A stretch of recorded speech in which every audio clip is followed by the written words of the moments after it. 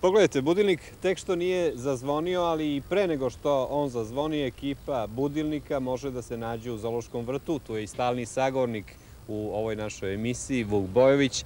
Vuče, dobili smo telefonski poziv jednog našeg mladog gledalca koji pita da li ima belih paunova. Šta da odgovorimo čoveku? Ima belih paunova, evo upravo ovde. I moram da kažem našim gledalcima da danas ovu scenu nismo hteli da snimimo.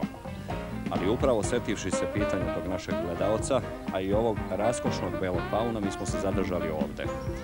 Kad smo već kod ovog pauna, još ispričati nešto o ovom prostoru gde živi bezbroj vrsta. Ja ih tačno ne mogu nabrojati koliko, ali mislim da, da ih ima 30 Evo čak ima i gornjača.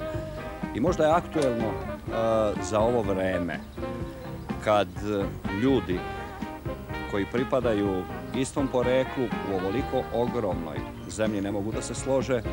Ovde, ja ne znam, 40 sa 25, živi toliko vrsta i toliko primeraka i svi se izvrsno slažu. No to nije danas poenta ove priče. Kad smo već kod ovog belog pauna, ispričat ću jednu vrlo interesantnu priču o jednoj neobičnoj ljubavi. To je ljubav između jedne morke koja je prošle godine nesrećnim slučajem ostala bez mužjaka i jedne paunice u koju se morka zaljubila. Veoma su atraktivni i skreću pažnju posetilaca. Mi ćemo posle naći morku pa ćemo je snimiti. Ona je bela, a paunica je e, obična. E, da dodam da ženke nisu tako raskošne i atraktivne kao što, e, kao što su mužjaci. Šta se desilo? Ta ljubav se začela, idila je krenula, oni se ne razdvajaju, ali paunovi kojih imamo mnogo ovde bojkotuju pripadnicu svoje vrste i ovaj, ona je u potpunoj izolaciji.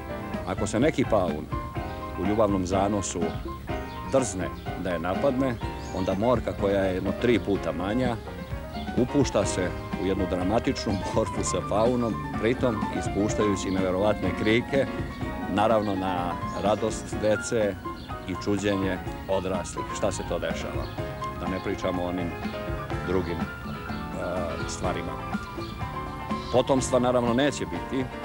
Nabavit ćemo Morki ženku, a ona će verovatno revidirati i ponovo se naći među svojima. Evo, još jedne priče o belom paunu, što je odgovor na pitanje našeg mladog gledalca koji se u svojoj radoznalosti javio telefonom budilniku. Takve pozive volimo, a volimo i da Vuka Bojevića na kraju razgovora uvek pitamo ono jedno te isto pitanje. Da? Da li ste vi Pa zaista... da. Da li sam uh, potoma Kraljevića Marka? Da. Mićo, ovih dana ćemo to odgonetnuti, pošto je nebo tmasto, ovaj, svaki trenutak će kiša.